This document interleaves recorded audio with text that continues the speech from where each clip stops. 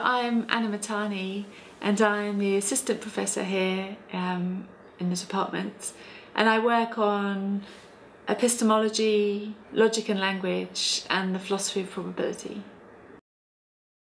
So I think there's two different sorts of probabilities that people work on and one is objective probability which is like the real objective chances of things happening.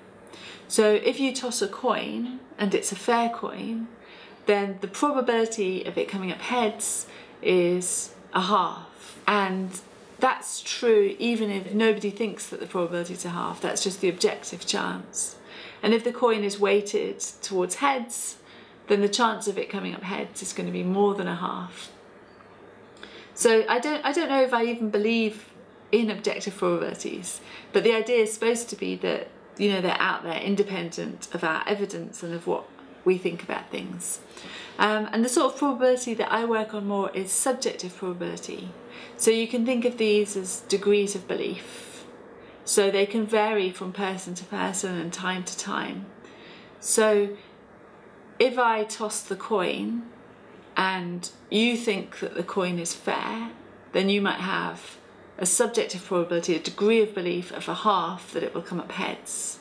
Whereas if I know that the coin is weighted towards heads, my degree of belief that it will come up heads will be higher. Subjective probability I see as really an area within epistemology. To do with your epistemic state, what people believe. One of the things that I'm interested in is figuring out when someone's degrees of belief are coherent, like when, when they're consistent, when they're not contradictory. So when we're thinking about outright beliefs, it's it's relatively easy, right? You you've got incoherent outright beliefs if you believe contradictory things.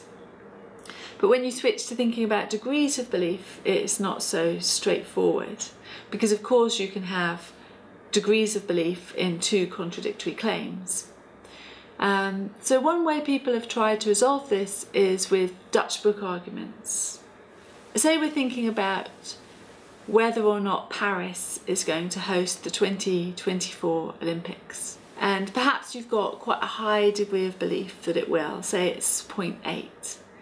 But you've also got a high degree of belief that it won't, say that that's 0.8 as well. So what happens is we imagine a bookie who comes along and offers you offers you a book like a set of bets. The first bet is you pay them eight pounds and you'll get ten pounds back if Paris does host the 2024 Olympics. And you'll accept that bet, right? Because your degree of belief that it will is 0.8. And then they also offer you um, a bet whereby you pay £8 and you get £10 back if Paris doesn't host the 2024 Olympics. And you'll accept that as well because your degree of belief that it won't is 0.8.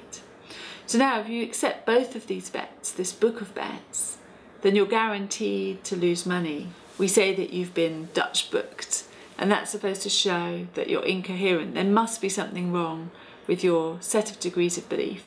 There are these rules of probability, the probability axioms, and it turns out that if you violate any of them, if your degrees of belief don't match up to these rules, then you're vulnerable to a Dutch book. So the Dutch book arguments can be used to argue for the probability axioms, which is a really nice result. These Dutch book arguments are really great because they um, they give us an argument for all of the probability axioms but they're problematic because they rule some agents to be incoherent or irrational that we don't think are irrational. Um, so, for example, if you don't know what your own degrees of belief are, then you're vulnerable to a Dutch book argument. And if you don't have complete trust in yourself, like if you think that your degrees of belief could be mistaken, that you might have gone wrong somewhere, um, then again, you're vulnerable to a Dutch book argument. So you end up ruling that you're only rational if you have perfect self-knowledge and basically if you're really arrogant and you believe that um, you've got everything right. And intuitively, um, it can be rational, it can be epistemically virtuous to um, be cautious about your own epistemic state, right? To think that you might have got some things wrong.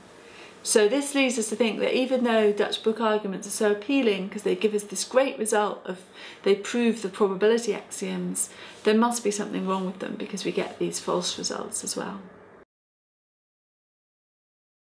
You might wonder why this matters, why we should care about whether people have coherent degrees of belief and why we should be trying to work out how to judge whether someone has a coherent set of degrees of belief. But I mean, actually, I think it's really, really important. I mean, we're talking about consistency really here. And we definitely care whether people have a consistent, coherent epistemic state.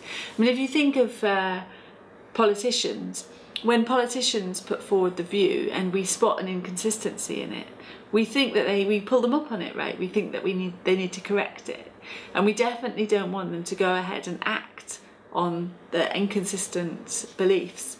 And I mean, I think this was really it's really obvious when you're thinking about outright beliefs that you don't want to have contradictory beliefs because I mean, think about how you'd act. You, your, your actions would just become incoherent. And um, since philosophers have just become more sophisticated and started talking about degrees of belief, um, the problem's still there, right? We still want to be able to explain what it is to have a coherent set of degrees of belief because that's what's going to go on to inform people's actions.